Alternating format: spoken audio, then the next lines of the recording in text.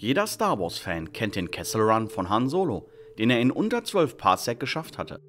Und genau aus diesem Grund wollte ich ein Video über diesen legendären Ort machen, der für immer mit Captain Solo verbunden bleiben wird.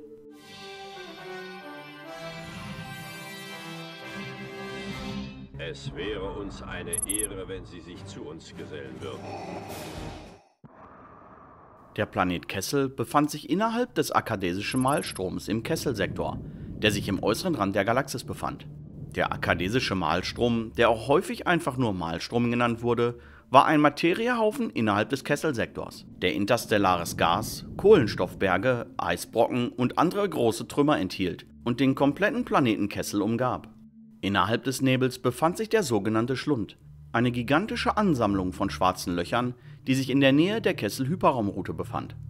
Eine große Besonderheit des Schlunds war es, dass die ionisierten Gase des Weltraumnebels in die schwarzen Löcher gesogen wurden, wodurch diese deutlich sichtbar waren.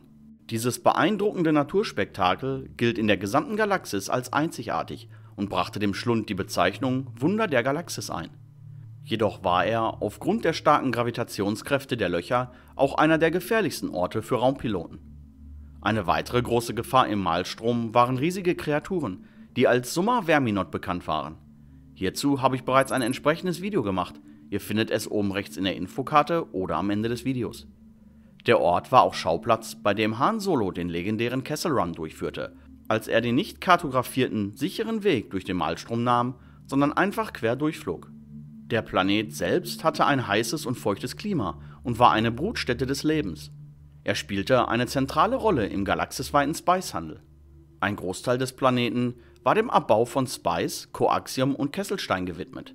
Das sogenannte Spice war eine pulverförmige Droge, die seit Jahrtausenden von Jahren in der gesamten Galaxis verbreitet war und viele Schmuggler finanzierten sich durch den Schmuggel dieser Droge ihren Lebensunterhalt.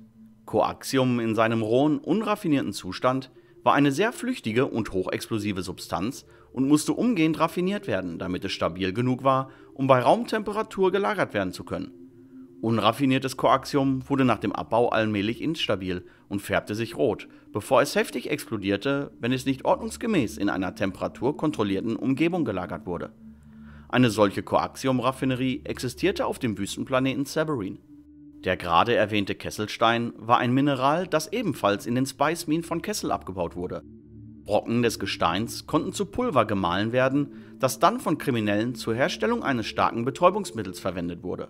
Beim Abbau wurde jedoch ein giftiger, fossiler Brennstoff in die Atmosphäre von Kessel freigesetzt. Während die nördliche Hemisphäre von Kessel dem Bergbau gewidmet war, befanden sich auf der südlichen Hemisphäre des Planeten üppige Heiligtümer. Zur Zeit der imperialen Herrschaft unterhielt das galaktische Imperium mehrere der Bergbaubetriebe und beschäftigte zahlreiche Sklaven, um das Spice zu ernten, darunter auch Wookies.